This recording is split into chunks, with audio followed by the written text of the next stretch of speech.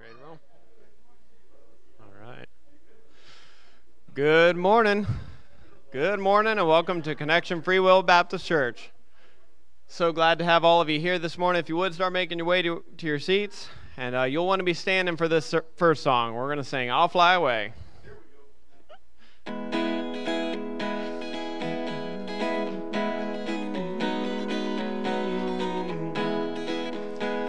Some glad morning when this life is o'er, I'll fly away to a home on God's celestial shore. I'll fly away.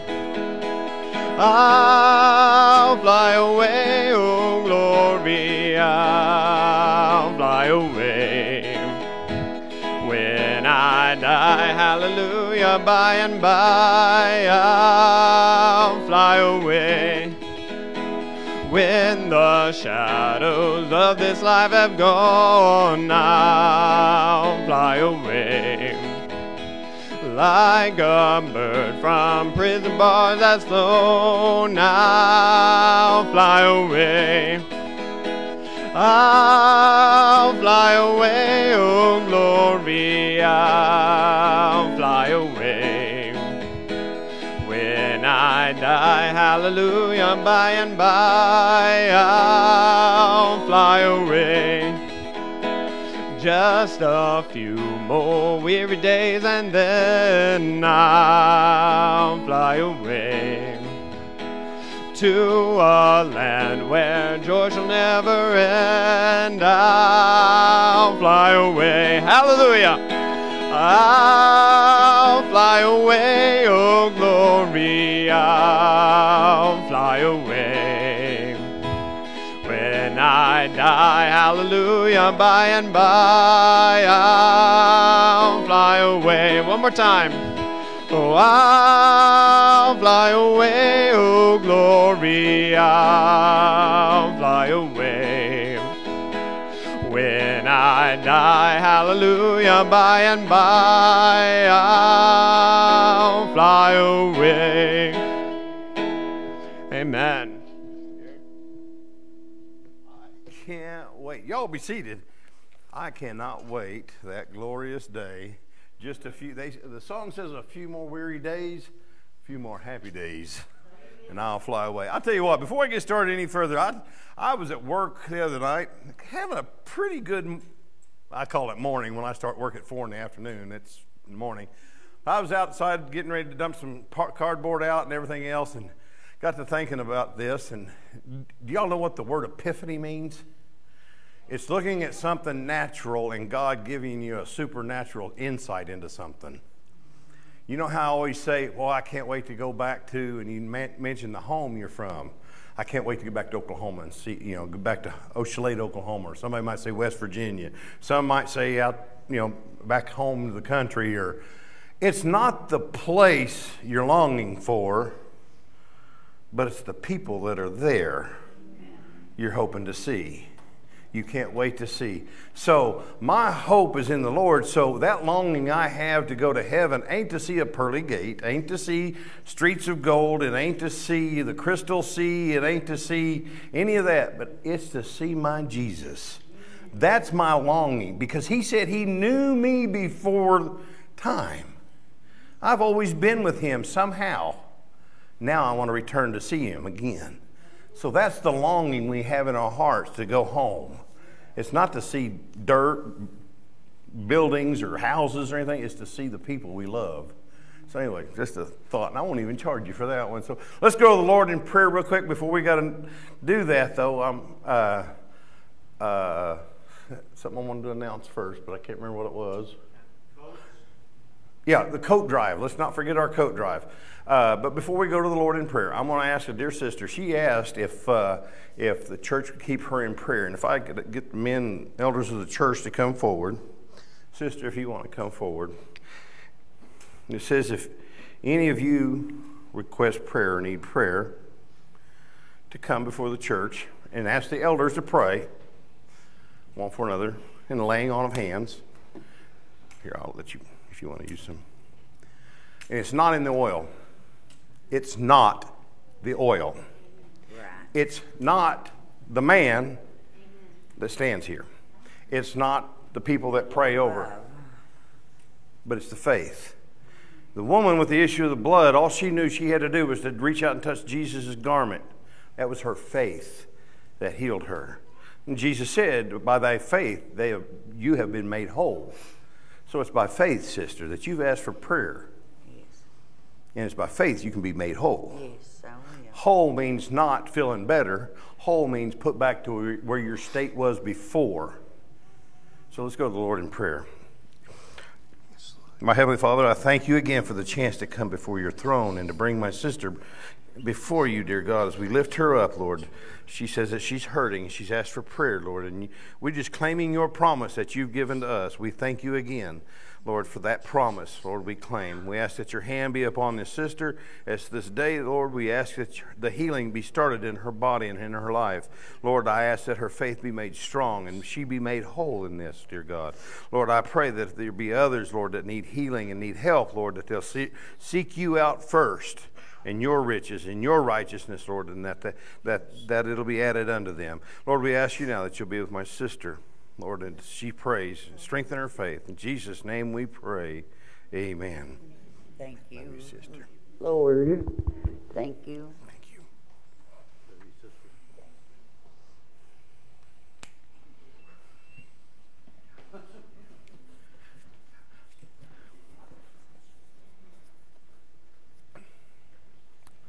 One of the greatest things that somebody can do is come to you and ask you for prayer. Hallelujah. Our greatest weapon we can fight that God left us when He went to be with the, at the right hand of the Father, when Jesus left us that day of ascension, was the Spirit He put inside of us. He said He had to go so that the Comforter can come. He could only be with us in the flesh while He was here. He could only be in certain places. He was flesh and blood, like you and I. He said He had to go so that the Holy Spirit could come and dwell within us. And that's what he left for us. We can reach a lot more people than we can with a man in a pair of sandals walking around the desert. And I kind of paraphrase that as another preacher said that Jesus could only do what he could see. But now that the Holy Spirit's in us, eh, anywhere, anytime, God is omnipotent. He knows all, sees all, does all, be anywhere at all times. That's my Jesus, and that's, that's who we pray for. And what he gave us before he left was prayer, to pray for one another and that's what we'll do. Anything else? No. Really? I know we've had one birthday this past month. Oh, we had a birthday. Oh. Brother Rick. Oh, yes, sister. Yes. Okay, we will. Let's do that real quick. Anybody else have any special prayer requests? We'll just cover these right now. Uh, my coworker Marilyn, who sits right next to me at work, must always have a beautiful smile on her face. I mean, anytime. And I was talking to her the other day, and I complimented her on that. Every time I see you, you have this beautiful smile on your face. She says, "Well, I'm going through a lot." Yeah. And when I talked to her later, she said she was facing surgery Tuesday Okay. for gallstones. So just pray for her, because she is just such has such a wonderful spirit. Amen. Anybody? Yes. And let's all pray for Rick Burke, that he, uh, starts feeling better also. I'm not Rick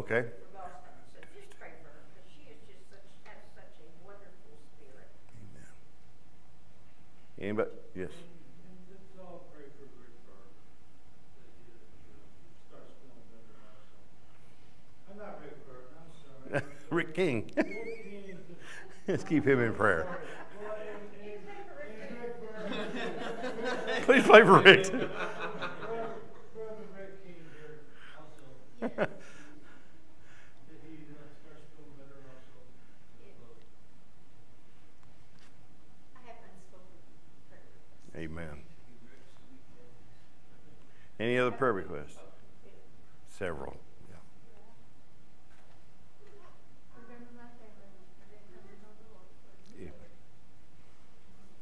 Yes.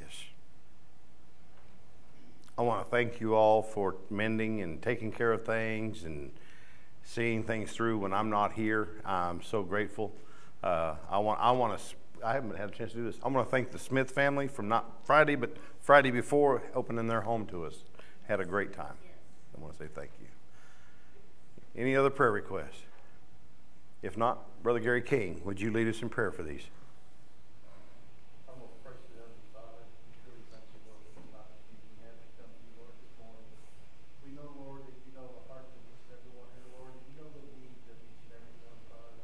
Those that requested prayer this morning, Father, we pray a very special prayer request for them, Lord.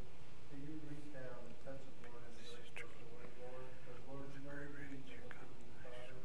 We pray you would bless them, Father, and give them strength, oh Lord, so you will go with the will, Lord, each and every day. You touch the body, Father, show us, Lord.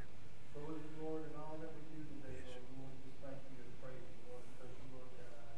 And you are the Father and our Lord, Lord, we just thank you for that, Lord. We would want to thank you for this church, Father, and the people that are in, Lord. We ask you to pour a very special blessing upon us today, Lord. Bless the pastor and give us the word, Father, today. Help us to take it, Lord, and use it, Lord, for the ability of your kingdom to go forth this week. Go with us now, Lord, and lead down and direct, Lord. and We'll never forget to bow and give you the praise, for it's in your name we do pray, Jesus. Amen. Amen. Amen. Birthdays? we have any birthdays this past week? That's almost a setup, wasn't it? Anybody else have a birthday this past week that they want to admit to? I gotta throw that out there now. Brother Rick, would you mind standing, please? You ain't gonna think I'm gonna have everybody stand, do you? I can get you to stand. Brother, happy birthday to you. Happy birthday to you. Happy birthday, God bless you. Happy birthday to you. Happy birthday. Brother Kevin. All right, you may remain seated. We're going to sing a couple more songs here before I turn over to Brother Gary. We're going to sing It Is Joy Unspeakable.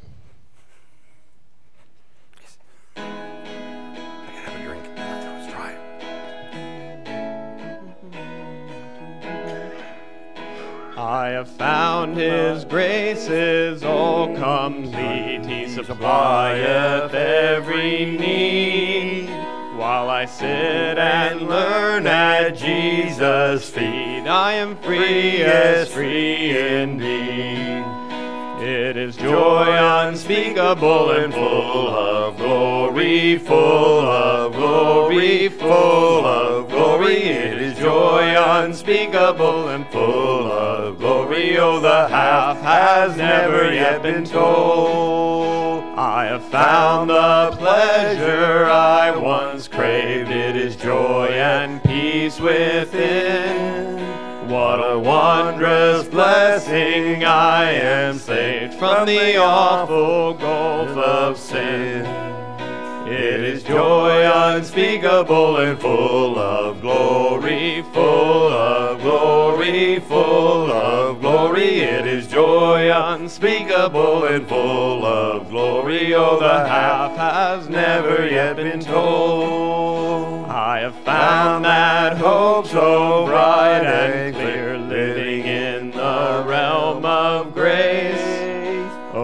Savior's presence is so near, I can see his smiling face. And it is joy unspeakable and full of glory, full of glory, full of glory. It is joy unspeakable and full of glory. Oh, the half has never yet been told. I have found the joy no tongue can tell how its waves of glory roll. It is like a great o'erflowing well springing up within my soul. It is joy unspeakable and full of glory, full of glory, full of glory. It is joy unspeakable and full of glory. Oh, the half has never yet been told. Amen. Amen. I'll sing one more here. Uh, I haven't sung this one in years. In my heart, there rings a melody. My dad always used to sing this one growing up, so as soon as I saw this, I was like, this is a good classic.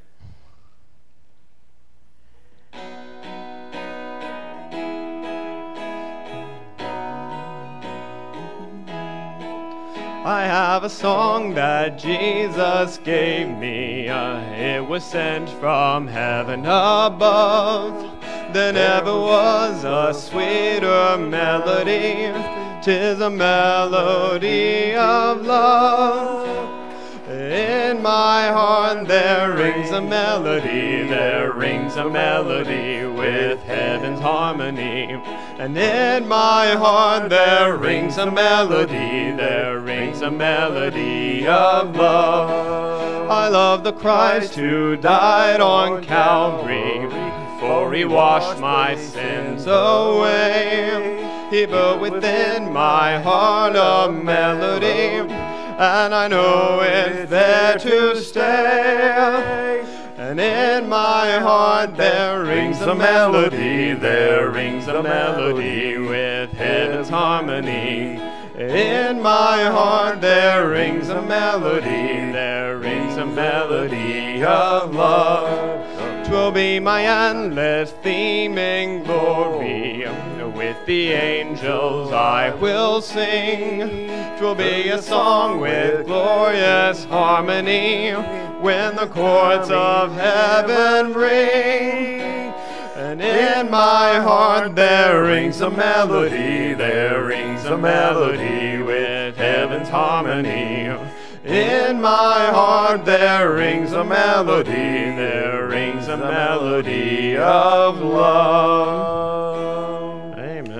Amen. Well, that has been a long time.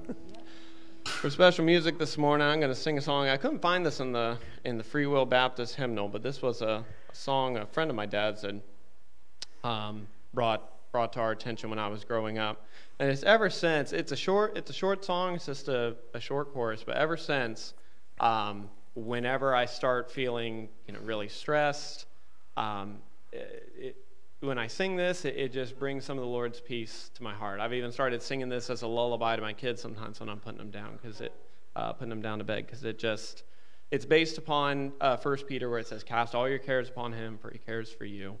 Um, and it's a short, like I said, short song, but I'd like us to start singing it eventually in service sometimes because it just, I don't know, it's one of those songs that just brings the Lord's peace like few others can. So.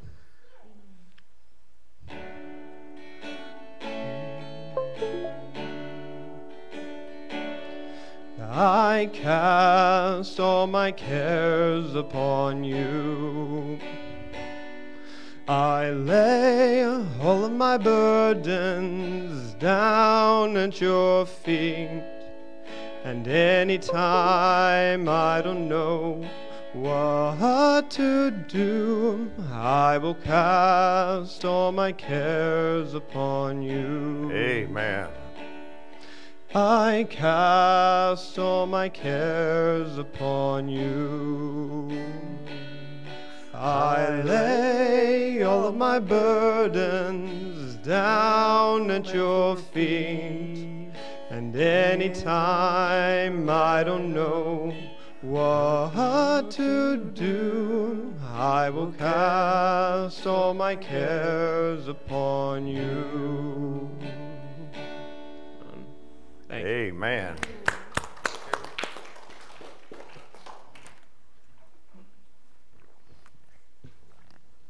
I need a big gulp. What a beautiful melody. That word, melody, just keeps popping up in my head. One of my favorite songs is There's within my heart a melody. Jesus whispers sweet and low. Care not I am with thee, peace be still in all of life's ebb and flow. Jesus, Jesus, Jesus, sweetest name I know. Fills every life. Come on. Keeps me singing as I go. There we go. I love that song. Put that one on the on the rotation, brother. I know the lyrics of that one. My favorite line is Soon he's coming back to welcome me, far beyond the starry skies. I shall wing my flight to worlds unknown. I shall reign with him on high. There we go. Well, we'll get the rest of that next week. All right, we're, we're going to get out of the book of uh, Jude for a little bit. We're going to go back, trust me. But Jude led me to Nehemiah. Who here was here for the first time I preached on Nehemiah? We're climbing back up on that wall. I'm going to give you a back. If you'll turn with me to Nehemiah, the fourth chapter. If you can't find Nehemiah, go to the very front of your Bible, like your pastor had to a couple times when he's studying, and look for Nehemiah. Ezra, Nehemiah, Esther, or Esther, Nehemiah, Ezra. One, I'd have to go back and look again. It's after First and Second Chronicles, back to the beginning of the Old Testament. I want to tell you a little bit about Nehemiah, just to give you some backstory about this whole situation about the wall. Nehemiah was a man that, in a much turning of things, first of all, hmm, I got a ring in my ear. Anybody else hear that? Must be just my ear. Uh, Nehemiah was not a priest. Nehemiah was not a prophet. Nehemiah wasn't even a king. Nehemiah was what they call was a courtesan. He worked in the king's court for uh, uh, the, I think he was a Sumerian king named Artaxerxes. Artaxerxes was a, uh, a, a, captive type uh, king of, of the Sumerians, and they're the ones that put the Babylonians under, under rule and under bondage. But uh, Nehemiah worked in his court, but still kept up with his roots as a, as a, as a, a uh, as a Hebrew child and he kept the same traditions and he kept his heart turned towards God and the, and the beliefs and the structure and the, and the teachings of, of, of Moses. So he stayed true to the, to the Word of God.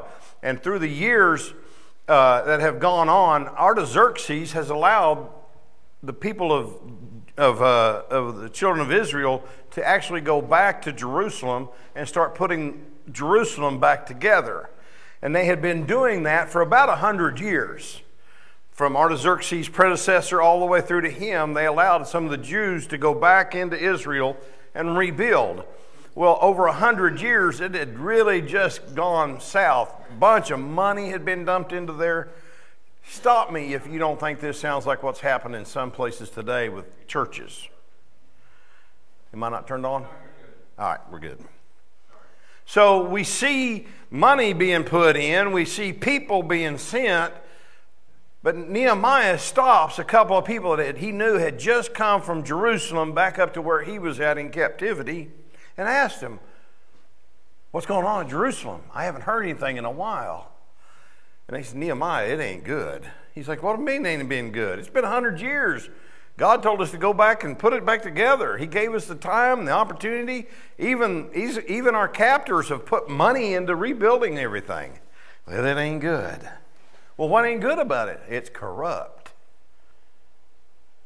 It's like cutting down that, that perfect tree that you want to use for firewood or you want to use for decorations. Only when you get your chainsaw about halfway through it, it just goes through it like a roll of toilet paper. It's rotted on the inside. The outside looks good. It looks like what it ought to look like, but then you get into the structure, what holds it together. That tree's just rotted from the inside. And that's what he's found out's gone on in Jerusalem. All that money and effort that's been put into Jerusalem has gone for naught. And it broke Nehemiah's heart. Like I said, he wasn't a king, a priest, or, or had nothing to do with the, the, the workforce that went, but he yearned to see it done the way God wanted it done. We've got some people in this church today that are that way, that stayed around and are still here to help rebuild and had a burning desire to do what God wanted done here. And I'm going to use this building and this church and these people here in this story with Nehemiah. Because this story here is so relevant today and not just this church here at the corner of Dahl and in uh, Poplar Level Road. But it's true all over the world, and where you see churches that after the pandemic went through and after this went through, that, well, the best way to handle it is we'll just throw money at it and send people to it. That don't work, does it? Because if God ain't in it, it ain't going to be right. Anyway, Nehemiah had one response. He had a first response. I'm going to ask you when God put a desire on your heart to do something, you're going to have a first response. And that first response to what God's calling is on your life, your first response is going to be very crucial. What was, what was Jonah's first response when God told him to go to Nineveh? No. I'm going to Tarshish. Do you know what? He had to come back from where he started. When he said no, he had to come right back through there and go, I guess he was right. I'm headed to Nineveh. But his first response was not that way. How many other people can we see throughout history that God told them to do something a certain way? Look at Paul. Paul was raised up in a Jewish household, Roman too, but he grew up. He said, "I am, I am a Pharisee of Pharisees." He said, "I am a follower of the law." And here he was. He was on his way to go persecute another church. And what did God do to him? Stopped him right there and asked him, Why persecutest thou me? Paul thought he was doing the work of God, but he wasn't. He was doing his own work. But his first response was off. But Nehemiah, Nehemiah's first response was he wept for Jerusalem. When God calls us to do something, most usually when our heart breaks and we move to do what God calls us to do, it's out of weeping and it's out of, out of heartbreak that we want to do something. How many of us have sat here and watched at the end of a program, right before the final scene of a, of a TV show or a movie you're fixing to watch on TV? This commercial comes on, and first thing they show you is these poor old dogs in cages. well, hey, I can't change the channel. my show's fixing to finish up, and, and uh, Barney Barney Miller's fixing to nail this guy, you know, or uh, or somebody's fixing to figure Matlock's fixing to show me how it's all solved. So I can't change the channel. They pull at your heartstrings. I'm gonna ask you when when you see wrong in the house of the Lord, does it break our heart, or do we try to hide it? Do we pick up a rug and I'm going to tell you something, just to tell you how much that's true. There's a floor back here. Some of you probably ain't been back here. There's a hot water tank back here. It sits on a floor that's about to fall in. I weigh 240 pounds, and I'm scared to walk on it. But the men and the women in this church believe that is a representation of how we do God's work. Let's fix that floor make it solid, then we can build on it. Nehemiah had that yearning too, to see it fixed. So Nehemiah puts together quickly a group of people and says, I got to go. Artaxerxes says, Tell me what you need. Here's some money. By the way, here's governorship for you to take care of whatever you need to tell them people to get busy. By the way, Jerusalem was under Artaxerxes' rule at the time. In fact, all them little governors around that area fell under Artaxerxes. To give you a little truth. I'm giving you some backstory. We're going to read here in a minute. That's, I'm to encourage you. I don't want, I have a lot of stuff up there, but I want you to read through as we get ready to go. I want you to see how this all panned out. Because there was a man willing to do what God wanted done, and he knew it was going to be a fight. But he knew and I want you to read before we start there. I want you to skip down to the 20th verse, and this is kind of like a sub reason what this is about. Nehemiah 4, verse 20 says, In what place therefore we hear the sound of the trumpet, resort ye therefore thither unto us, our God shall fight for us. It ain't our fight. What did Jesus say to Paul on his way to uh, on the road to Damascus? Why persecutest thou me? This fight ain't our fight. God's got the fight. He fights for us. We just need to suit up and do our time at the watch. He told us to watch and pray. He gave us armor in case we had to attack or defend. Because we're to defend one another in the faith. Yeah? Amen. Defend one another in the faith. Defend the faith. Fight for the faith. But we have a God that will fight for us. We just need to show up for battle. So many times we're caught in the mess hall when the battle's going on. I'll suck the head. I'll bet that's too long in the mess hall. If y'all don't want a mess hall, it's the cafeteria in the army. So here's Nehemiah. He's going back to Jerusalem. He's going to go fix some things. When he gets down there, he's going to find out there's going to be a problem. He's going to find out there is a enemy on the outside trying to get in. That's why they don't want a wall or they don't want fences or gates. But the worst thing he's going to find out, he's got people on the inside not wanting it built either. Why? Let's find out. Nehemiah 4, verse 1. I do not have my glasses on, so pardon me if I have to duck and dodge around this text. But it came to pass that when Sanballat heard that we builded the wall, he was wroth and took great indignation and mocked the Jews.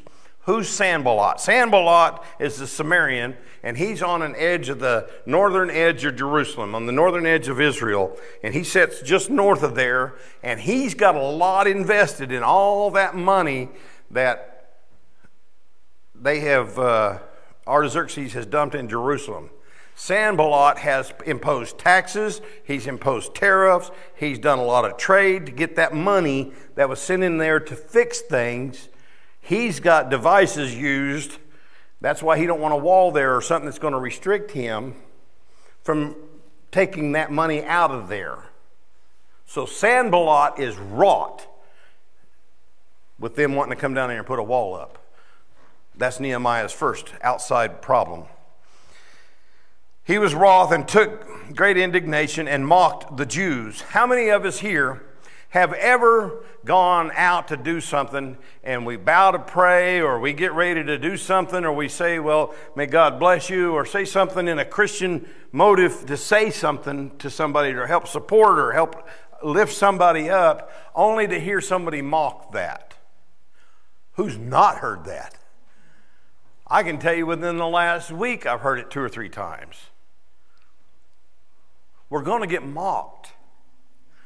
We're going to be caught into those situations where people are going to laugh at us for our belief, for our stance, for wanting to build a wall up. How many of us here have seen these school board meetings where the parents have stopped, stood up and stood for their children and said, You're not teaching that to my kid. They're wanting to put that wall back up, only to hear what? Our government speak against them. Keep the faith keep putting that wall up. We're going to get mocked, we're going to get laughed at. But we're not to raise our voice against it, or our tongue against them, or to speak ill of them. Much like we're not to sit there and challenge the devil at every turn to say, Satan, come at me because I got somebody behind me that's bigger than you are. And what it does, it sounds like you're having a conversation with the devil and you're praying to him. Stop that. He ain't scared of you in the least. How do I know that? Because I'll tell you what, Satan walked right into the throne room of God and challenged him about Job. Do you think he's worried about you? He knows Scripture better than you. He knows the hymnals better than we do. Don't go throwing your weight around against Satan. Even, even the archangel Michael said, Let God rebuke you, and walked away from him. Because it doesn't say, fight the devil and he shall flee. What's it say? Resist him. Just resist him. Even Jesus, Jesus used just scripture against him, didn't get in a lengthy conversation and rebuke him. He used the word. So resist the devil and he'll flee. Don't fight those battles. Don't go to arguing with somebody about scripture. All they want to do is make a mockery of you. Don't start arguing scripture with them. Use the scripture, make your point, move on. Don't make a fight out of it. All they want to do. Any, any of y'all ever been in a uh, pig wrestling? or you got to catch a grease pig contest. Anybody ever done that? I know you're from Nebraska. You're giggling. You've been in them. You were in FFA, weren't you? No? Oh. Don't ever wrestle a pig in a mud hole. Two things are going to happen. You're going to get muddy and the pig's going to have fun. That's all that's going to happen. Don't argue with Satan. Don't fight with people over Scripture that are unbelievers. Don't argue with them over Scripture. Show them the Scripture, pray for them. Sow the seed, let somebody else water it. Walk on. That's all. I won't even charge you. That was out of text. Ephesians 6 says, Put on the whole armor of God. I'm going to sit here and paraphrase this, or else we'll be here all day because I've only got through, what, one verse? if we got a whole chapter. We may be here a couple weeks. We don't wrestle against flesh and bone. We don't. This fight that you're having with somebody over how to raise kids or how to teach kids or what the world is about, about transgender this and homosexuality that and, and plural marriage is this and that, don't argue them. You're, you're in a fool's argument, as it says. They're just going to make you look like a fool. They don't care if they already are one. They know. My wife will tell you, what's my, favorite, my worst pet peeve? Defending a stupid position. Somebody knows they're wrong, but they'll just argue with it because they, that was their decision. Uh, that's the way I believe. Well, why? Because I believe that way. They'll defend a stupid position. That's I don't like that. And that's what people will do that are out of Scripture, that are out of Christ. They'll just make you look bad. Know your Bible. Know your Bible. Let's go to verse 2. And he spake before his brethren and the army of Samaria and said, What do these feeble Jews? Will they fortify themselves? Will they sacrifice? Will they make an end of in a make an end in a day? Will they revive the stones out of the heaps, the rubbish which are burned? Hmm. He's mocking them. It's going to hurt my heart here, but I'm going to say it. There were certain people that found out we were going to keep church going here. I heard from more than one person, what they need to do is just go ahead and shut the doors and sell that property and get the money they can get out of it. Your pastor about lost it. Made me angry. It hurt. I love my church. And it has nothing to do with the building sitting on the corner of this lot. I love my church. And when they said, made a mockery out of it and said, to just shut doors, tell them to go find someplace else to worship. I wept. I wept. When people make a mockery of your faith, does it hurt you? Does it hurt? Or do you giggle thinking, yeah, they got a point? If that's your point, then we'll pray. That's all he wanted to do was make a mockery out of it. So, what are they going to do? So, what do we got to do? This next verse is going to tell you that did not come from outside. That statement came from those that were inside. Don't let them in. This goes, this is how I ended up from Jude to Nehemiah. It says, Be wary, they have crept in unawares. Was that not in Jude in verse 4, I believe? They've crept in unawares. I may be the under shepherd here, but I'm going to tell you now, I'm one of those sheepdogs if I smell a wolf in my flock, we're going outside. You're not staying inside this fence. You're not staying in a gate. If you find, if I find yourself, the Holy Spirit reveals that you are a wolf in the sheep's den, pen, I'm going to take you out. We're not having that in here. False teachers, false prophets, false anything in this church will not be tolerated. Will not. We will have discipline in this church. We will have freedom. We will have the liberty of salvation. We'll have the fun that we've had in fellowship. But we're going to have order and we're going to have discipline. We're going to do it God's way, not Gary's way. We've tried Gary's way. it don't work. Does it, Gary? but we're going to do it God's way. Nehemiah put his foot down, and I'm going to show you how. Verse fo- uh, 3 Now Tobiah the Ammonite was him, and he said, Even that which they build, if a fox go up, he shall even break down their stone wall. What he's saying is, anybody ever seen a cat get up on a shelf and start pitching knick- knickknacks off of the shelf? Oh, yeah. I like doing that. He's saying that's how they're going to build that wall. That if a fox even climbs on it, it'll, ru- it'll fall. Because that's their view of building. That was their view of how churches are. How many of us have seen them preachers get up? We see them on TV every now and go, Whoo, that's a fiery man of God. Boy, that, that guy can preach. He can preach a windstorm up or can preach a, a, a, a storm up. We've heard that. Where are they now?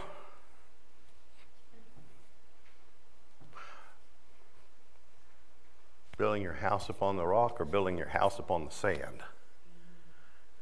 All they know is houses built on sand. A little storm come by and they get pushed over. And that's what they're saying.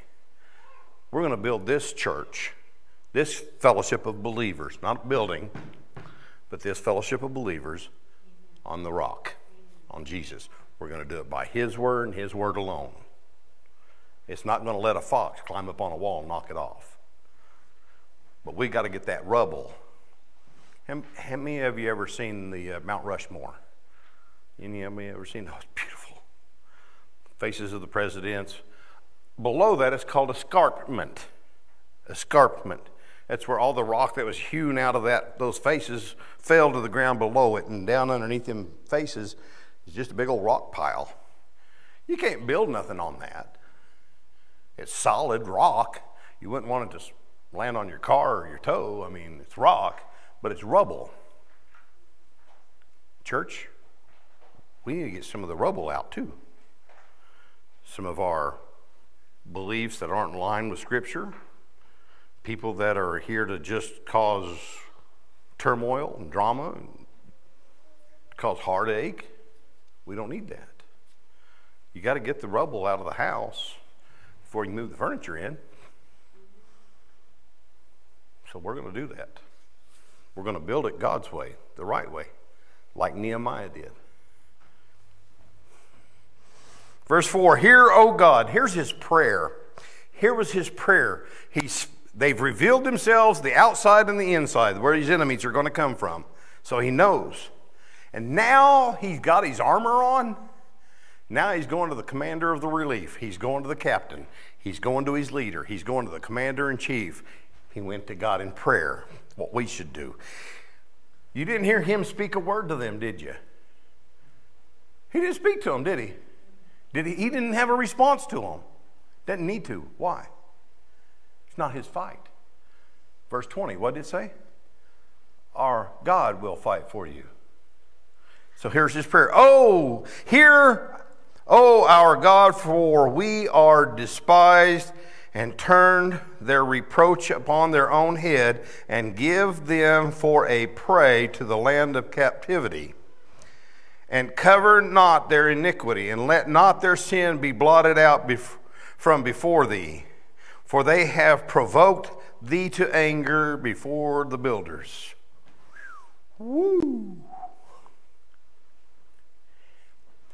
Y'all ever have a scab? What's a scab do? Covers a sore or covers an opening, don't it? He's praying basically that that scab come off and re- be revealed, that their sin be revealed to you, O God. What's it one, one thing that says not to provoke to anger? Children provoke not your parents to anger, or parents don't provoke your children to anger. They have provoked God's children to anger. And Nehemiah saying, God, they're provoking you to anger. God, don't let their sins be covered up. Please expose their sins that they be seen. That's what we're going to do here. bleach. Anytime a house has ever been found, in my neighborhood anyway, they find a house where they've made meth in, they take the walls completely down to the two. And they take this bleach mixture and scrub them two-by-fours to clean it before they put that house back together. That's what Nehemiah is doing here. He's exposing everything so it can be scrubbed clean. He wants a new start. Kind of like what we did here, didn't we? A new start. Things got scrubbed down. Start over. All the way to the bones.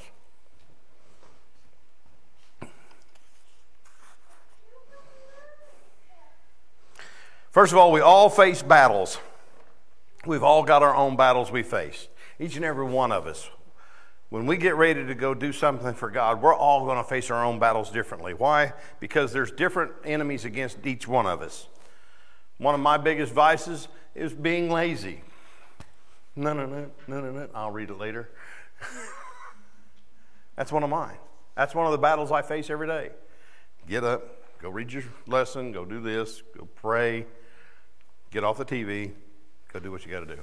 That's a battle I face. I'll admit that to you in front of everybody. I don't know what your battles are unless you come and tell me this is one of my battles. But we're each got our own battles to fight. When I was in high school, I, let me back up. When I was in grade school, I was one of the biggest kids in my class, my sister's class, next class up, I was about their size. I was the kid everybody went, come and got, hey, so and so took my milk, or so and so knocked my books off my desk. Where at? I fought battles. That was my role. I knew that.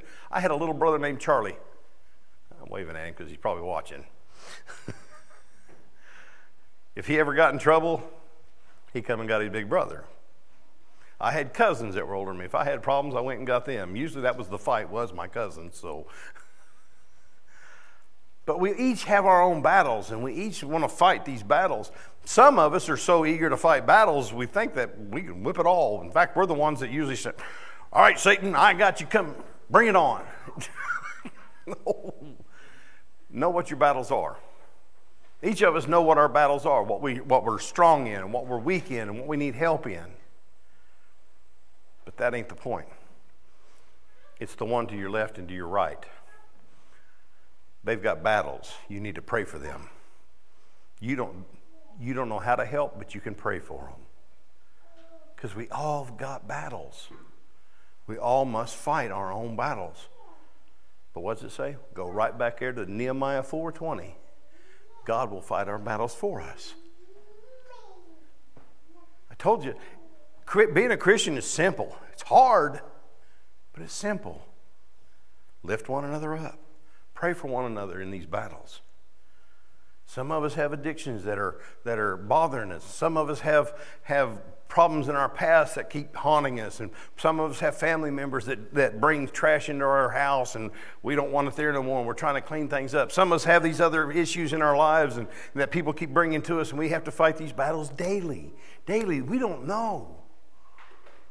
But God will fight those battles for you, no matter what they are. How big, how small. He wants them all taken. He wants to take on all those battles. Because I tell you what, if you let that one little thing fester, you say, I can handle that one, God, I got it. I don't think you can handle this yet. Because that's what worry is. Is telling God, I don't think you can quite handle this one yet. You're not a big enough God to handle that because you don't know my brother. You don't know my mom. You don't know my sister. You don't know my son. Yeah, he does. Give him that one. That's the one he wants. He wants that battle. He don't want the one that it's blowing up in your face. You're like, God help me. He knew Peter when Peter said, "Lord help me, I'm drowning." He knew Jesus would help him, but what about his other little battles that Peter didn't want to let God handle, like his sharp tongue, like his temper? He didn't trust them to God very often. He tried to handle those, and it handled him. Give God those little battles, but we all face battles. in this time, we also know that we, we all have a backup. Verse 4 Hear, O God, for we are despised, and turn their reproach upon us, their own head, and give them for prey in our land in captivity. Verse 5 And cover not their iniquity, and let not their sin be blotted out from before thee, for they have provoked thee to anger before the builders. I think I covered most of this. Satan trembles when he, I told you about he's not scared of you, but it says Satan trembles when he sees the weakest saint upon his knees. I'm going to make a t shirt with that on there one day. Or a bumper sticker. I like that That's when Satan's going to tremble. That's, that's when this world coming at you will cease to bother you, is when you take it to the Lord. We all have a backup. We all know we've got, we've got security. Nehemiah did not go to Jerusalem when he left Samaria. He didn't go down there when he knew he was on his own. He knew he had backup. Two things. He had backup in the sense that King Artaxerxes wrote him a piece of paper, said, Here, you're the governor of that place. Your call goes. You have my blessing, whatever you want to do. He knew he had that behind him, but he knew he had something even better. He had a God that put those stones in place the first time. Christian, you have a God that saved you that's still in that business today. He's still about saving. He's still about healing. He's still about helping the hurt. He's still about healing everything. He's still that God. You've got to back up. Third point. We all bring a balance. I'm going to skip down to verse 16. Let's get moving here a little bit.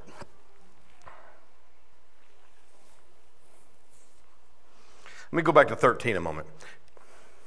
Therefore set I in the lower places behind the wall, and on the higher places I even set the people after their families, and with their sword, with their spears and their bows. And I looked and rose up and said unto the nobles and to the rulers and to the rest of the people, Be not ye afraid of them. Remember the Lord, which is great and terrible, and fight for your brethren, your sons and your daughters and your wives and your houses. Don't worry.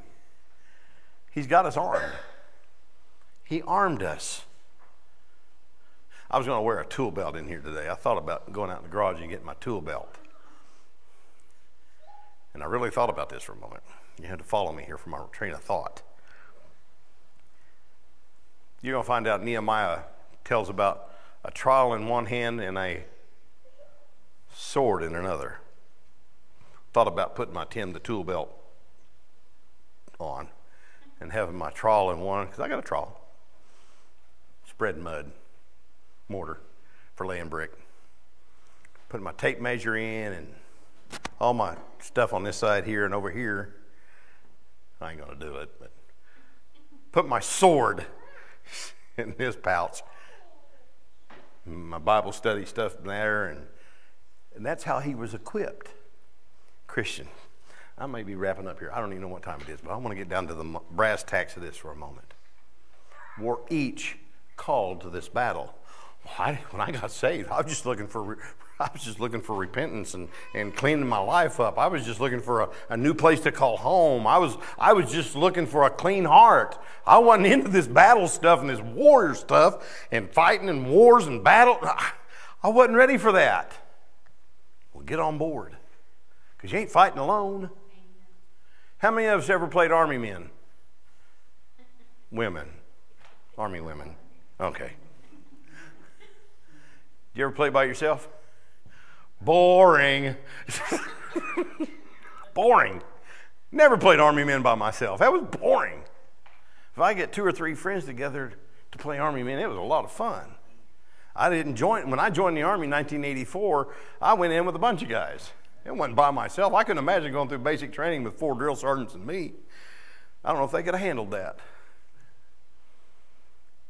We're here to fight together to your left and to your right. He set them in their place. Nehemiah put them in their place where they needed to be. He put some people he knew that were good at this here, people were good at this here. And how do you think a church is built? We got a women's Sunday school teacher. We got a men's Sunday school teacher. We got a children's Sunday school teacher. We got somebody wants to lead in music. We got somebody wanting to take care of this. We got some people who help take care of that. Why? Because that's where God set the stones the first time by His right. And Nehemiah came along and said, Okay, God, show me where these people need to go. And he put them where they needed to be so they could watch over one another. Wow, here we go back to the feathers again, ain't it? Lifting one another up. And that's why we're here to fight, not alone. Sister, did you go up there and ask for prayer by yourself? No. We all came together to pray for her. And that's what church is. That's what they're rebuilding is the tabernacle or the temple. They got to put a wall up to keep them that are out from coming in and them that are in doing wrong, kick them over the heel. I tell you what, if you find yourself to be on the outside of this church, come in through the narrow gate. That's another sermon altogether, ain't it, sister?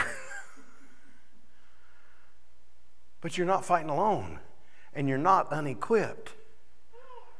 You're not by yourself because you're important in who you are. God's got a calling for you and you and you and you. Everybody in here has a calling on their life that benefits this house, that benefits this temple. And I'm not talking a building, I'm not talking the square footage of a, of a plot of land. I'm talking about the church and those that have been set aside, that have been called out to do something. Each and every one of us got something in us to do and He's got you here, I'm going to hand you a trowel with one hand, probably put a sword in your other hand, and get, tell you, get ready. You don't have to fight or build because you're not just going to warm a bench. I'm like Calipari. I may call on that 12th man down there sometime. Get in. You're next. I just shoot free throws. not today. You're point guard. He's given us all a role, given us some purpose here. Let me ask you this why do you think God didn't just take you on to heaven once you got saved? If that's your idea of it, well, I'm just come here to keep this place warm. Hold this chair down. if you come here just to hold the chair down, mm, I hope you can get up. You got work to do. We've all got work to do. We've all been called according to His purpose in heaven. We all have. That's all. That, that ain't just a few. We've all been called for something. Find out what that something is and make it known. How else can I pray for you if you don't if we don't know what you need? Or maybe you don't know yet, but you want to be told. You want God to reveal it to you. Well, all I can do is pray. Hallelujah. You know how many people I would take walk in that door right now and say, I just come here to be a prayer warrior for you, brother. Well, come on, I got room for you. We need warriors like that. Am I right? Am I right? I'll take a few prayer warriors any day on the front line. Absolutely. We call them riflemen in the infantry. Ain't we? We're, we're ready for that.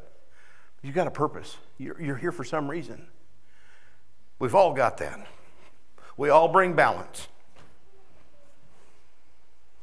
We all need boldness. We all need boldness. Verse 19.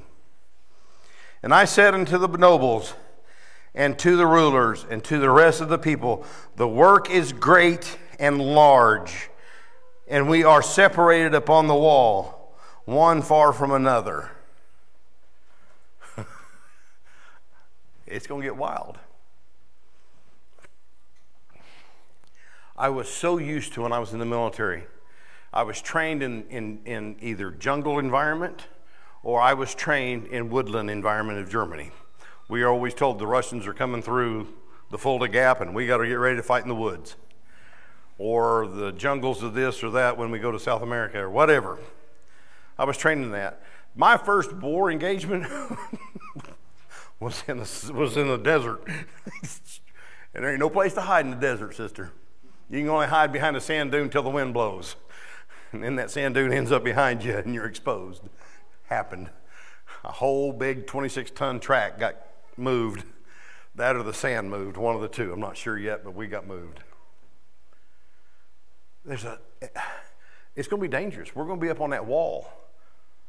We're going to be up there fighting and we're going to be up there trying to get work done, and arrows are going to start coming in. I need somebody to my right and to my left to hold a shield up while I'm still putting brick into place. See how that works? I need to hold a shield for a while so somebody can teach little children about the love of Jesus. I need some warrior on their knees right here praying over somebody whose family members got alcohol problems or got drug problems.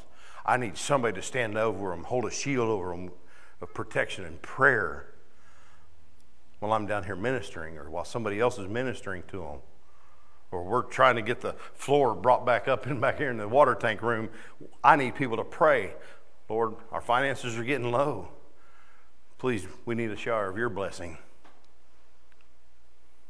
Well, that's what we need.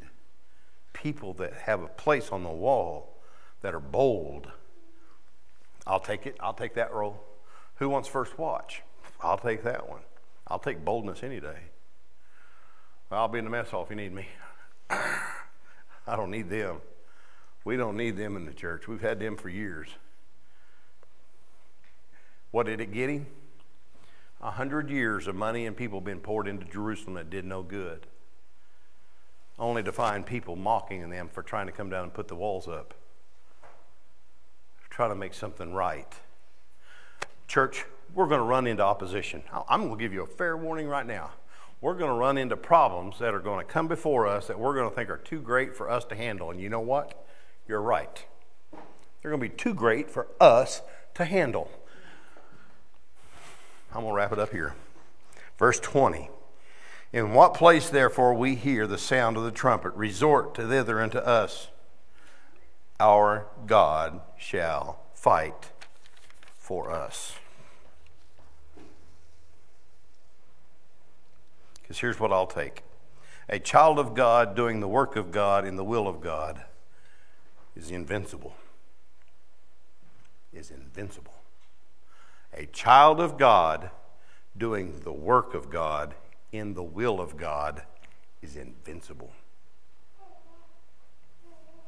You think I'm crazy? No. You ain't going to die until God's done with you.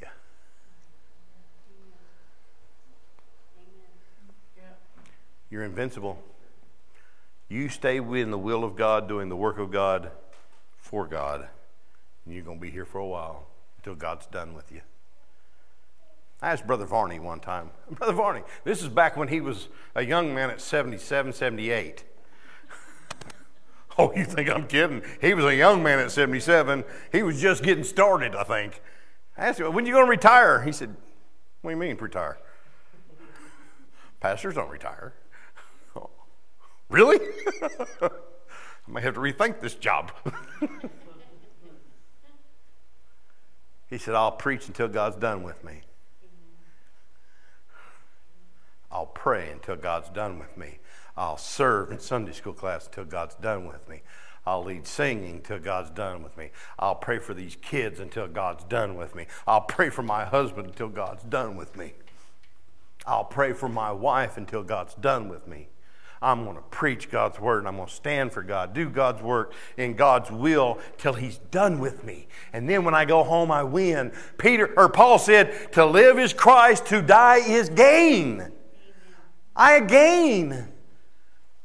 I get that longing fulfilled. I get to come off that wall. And you know what? He's got somebody right behind me to step in. Elisha followed right out behind Elijah. Elisha from Elijah. God had somebody right there. When David was gone, had somebody step right in and keep moving the Word of God forward. But you're invincible till God's done with you. He's going to fight for you. And you've got somebody to your left and to your right. So what are you worried about? What is there to worry about? You've got a God that set the cornerstone of this earth by his thought, by his speaking it into existence. Still fighting for you today. That same God that called forth of, of ten thousands of angels could have been called at any time that Jesus wanted to from the cross. But Jesus still did his mission, what he was called to do, what he gave his life to do. That same God is there today, still today, and tomorrow, and the day after. Still invincible. Right now, I'm immortal. I'm invincible. I ain't died yet, have I? Neither of you. You're invincible as long as you're doing the will of God until He calls you, calls you home.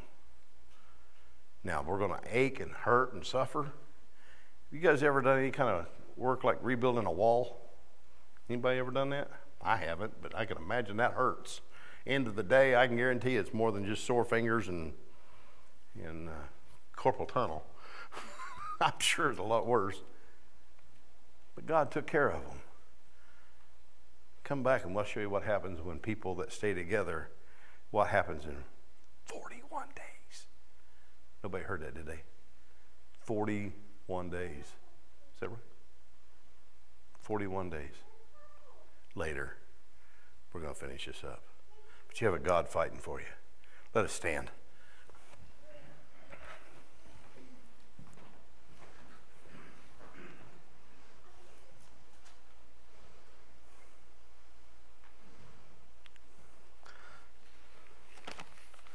Let's see if I can find it. Revelations 11. You don't have to turn there.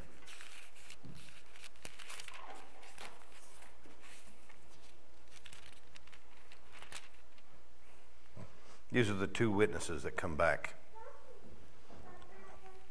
We're, we're past the opening of the seals and tribulations going on, and two witnesses come back. These have power to shut the heavens. This is the power God gives these two witnesses when they come back. These have power to shut heaven, that it rain not in days of their prophecy, and have the power over waters to turn them to blood, and to smite the earth with all the plagues as often as they will.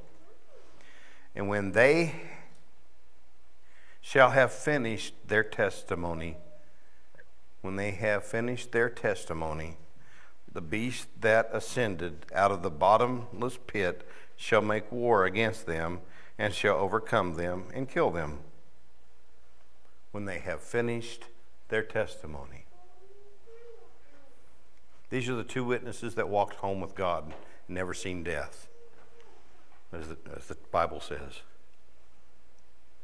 But they're not going to die through all that tribulation time until they're done with their testimony. You're not done until your testimony's over. That's God. So, what do you got to be scared of? This world, which can only take your temporal stuff, your earthly possessions, it'll burn up like wood, hay, and stubble. It'll be gone. I'm going to tell one quick story, real quick. I told Tammy this one the other day. There was a local fisherman at this small island village. An American was tourist was down there with him. They were fishing off this port, off this port, or this uh, uh, dock. That local fisherman caught a fish, nice big old fish. And he said, "Ah, good, first cast, big fish." He said, "That'll feed my family. I'm good. I'm gone." The American said, "Where you going?" He said, "Caught what I needed." "Where you going at then?" I said, "Feed my family." So later, after we're done eating, have a good meal, go sit at the beach and watch the sunset and play some music and and uh, drink a little bit of, of iced tea and sit back and relax and watch the sunset.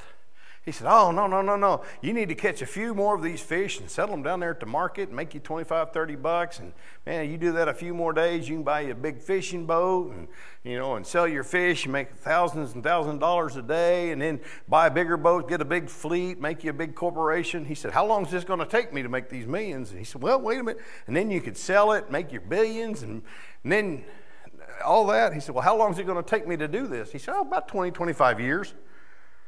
Hmm. Then what do I do? He said, Well, you sell it for billions and you can buy any kind of car you want, any place you want to live. And he said, Okay. And then what? And then you can come and sit on the beach and sit and watch the sunset with iced tea with your friends. He's like, I'll just do it this way.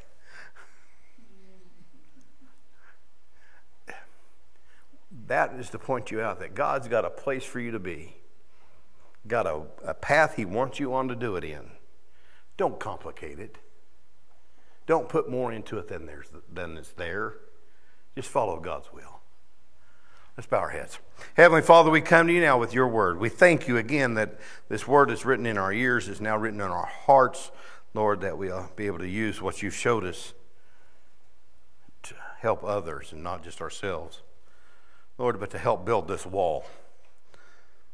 Lord, as you showed us your word, it strengthens us and gives us encouragement. But Lord, it warns us also. We thank you not only for the encouragement, but for the warning. Now we know what to look for. As you shine the light of our path, Lord, we see those things which can trouble us, that we can avoid.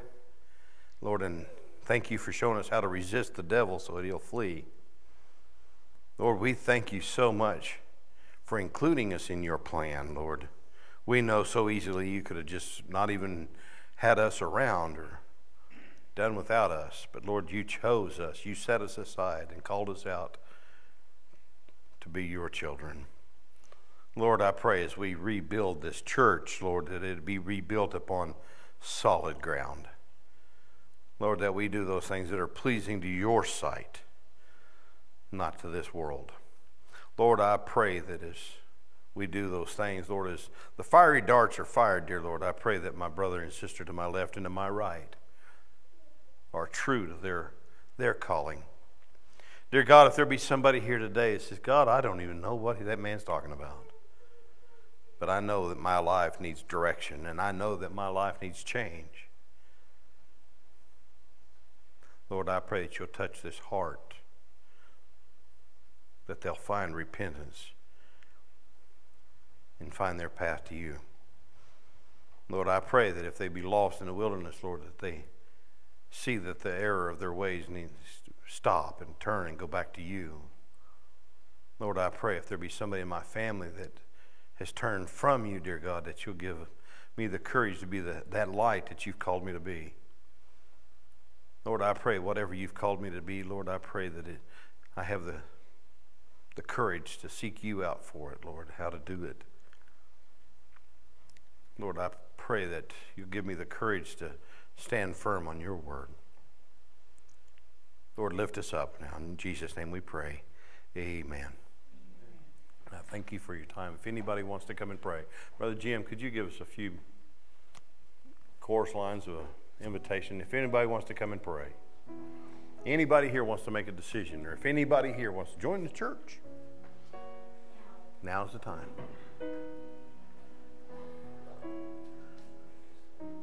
I appreciate everybody that's come forward and said, let me do this. God's called me to do this. God wants me to do that. You can all be seated for a moment. I just want you to be in a prayer for mind. You can all be seated. But I don't want anybody to walk out this church today saying, I just don't know where God wants me to do. If you'll ask, He'll show you. But I'm going to be honest with you, it may be a struggle. Because God may send you to Nineveh and you may not want to go there. But He's going to have somebody go to Nineveh, isn't He, brother? He's going to have somebody going to spread the word to the Macedonians. Who's heard that song? Heard the Macedonian call today? I'm glad that Paul heard that Macedonian call to spread the word and the gospel to Europe and out that way so we could hear it. But that wasn't where he wanted to go. He was on his way to Damascus to persecute the church. But he decided to follow after God's heart. Does Anybody here today want to follow after God's heart? Doesn't know where that path may go. It may it may head you back down to Danville, Kentucky. It may it may put you on Doll Street in Louisville. It may be just the next pew over to go pray for somebody. Just say, send me. Send me. Let's pray one more time. If anybody wants to, come.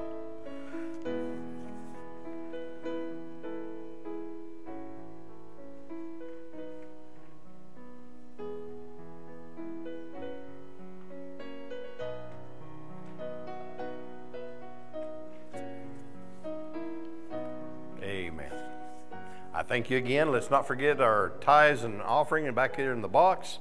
Uh, coat drive, the box is back here. If you've got coats to give and you want to come up through the week and drop them off, you forgot it and you're on your way and you got them in a car or something like that, give one of us a call. Are you close enough if somebody needs to drop them off or something? If not, bundle them up. Be here Friday. Friday, 6.30? Yes, sir. Let me finish up real quick. And uh, let's not forget Friday night, 6.30. We've got a business meeting coming up. No, not a business meeting. Let's not forget conference Saturday the 12th, right? August, tw- August, November. tw- Woo. Well, I'm glad she ain't the pastor right now. So let's not forget. Brother Rick. Oh, he's coming up here. Oh, he's gonna whoop both of us. You, you know, we have, uh, this month, October, is Pastor Appreciation Month, okay? And, Brother Gary, I don't know what to say, what, what you've done for us and, and through God the last year or so, it just means so much to me and everybody else. Before you leave today, come hug their neck and let them know what they mean to you from the church. Oh, thank you. Thank you, brother. Love you.